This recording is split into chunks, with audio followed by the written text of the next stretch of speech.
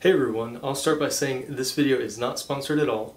Today I just wanted to share with you a affordable, expandable 4K surveillance camera solution that does not require a subscription. This is a system that you can DIY. It's really simple, it only has a couple hardware components, and at the end of this video I'll walk through a cost breakdown. So I ended up deciding on these cameras based on a bunch of YouTube reviews that I watched, and I went with a certain switch based off the required specifications and the quantity of cameras that I have.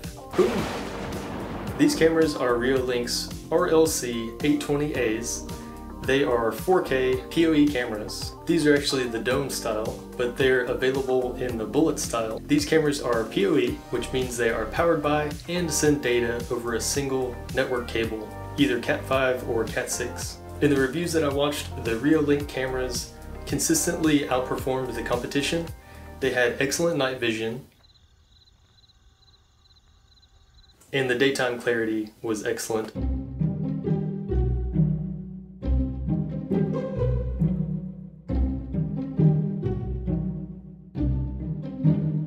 They also feature a person and vehicle detection feature. They can also take up to a 256 gig micro SD card so you can record right to that SD card from the camera. There's also a 12 megapixel version coming soon. At the time of this video, uh, it wasn't actually released yet, and I think those were about $99 each. Here's a switch I went with. It's a Netgear PoE switch.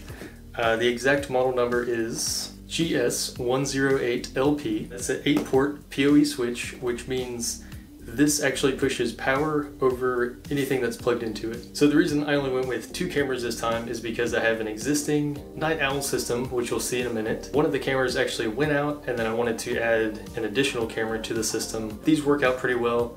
I'll end up replacing all of those and eliminate that old system that I had. It was just a 1080p system and it was analog, so it required power injectors and the analog cable and as you'll see in a minute in the closet area that I have it, it just adds a lot of unnecessary clutter. So this is the bulk of the hardware right here. The two cameras and the PoE switch.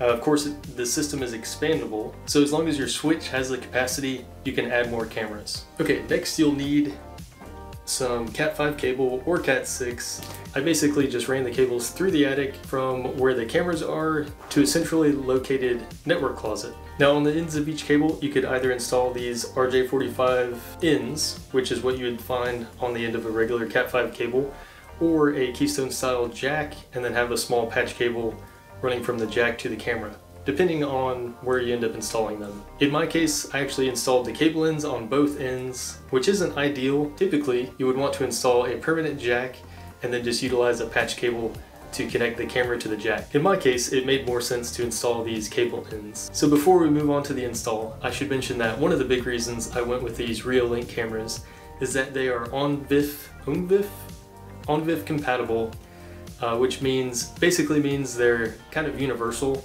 and eventually I plan on getting a Synology or some other type of NAS unit that's compatible with ONVIF cameras and I'll have those cameras recording to that NAS instead of to the internal SD card. That way I can have a lot more storage and then utilize either the Synology surveillance app or something similar. But for now, they work perfectly fine recording to an internal micro SD card and I utilize the Reolink app. There's also a desktop version of the app or you can reach the camera footage through any browser. Okay, starting with the pre-install, there's some preparation work here. You want to go ahead and install your micro SD cards.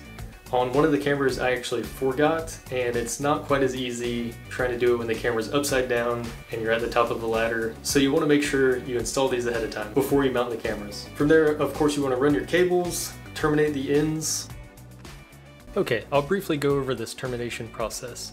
I first started by stripping back the insulation, then I separated each individual wire and sorted them according to the T568B standard before crimping on the RJ45 connector. When you crimp on the end, you want to make sure the connector grabs the outside insulation and then the individual wires go all the way to the end to fully make contact with those metal contact points. If you're feeling adventurous, you can crimp on your own cable end or just purchase already made really long patch cables.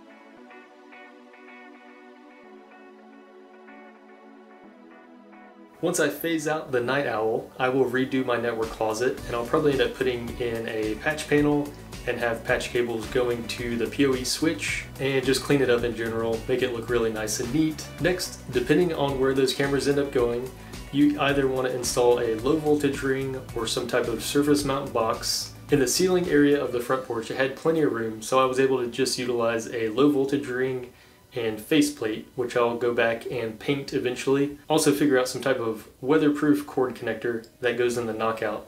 But for now, I just notched the knockout hole and ran the cable through that. So once I got my cameras mounted, I utilized the app to position the cameras. For this camera, I utilized a surface mount box because I didn't want to cut a really large hole in the eave. Alright, now on to the cost breakdown as promised.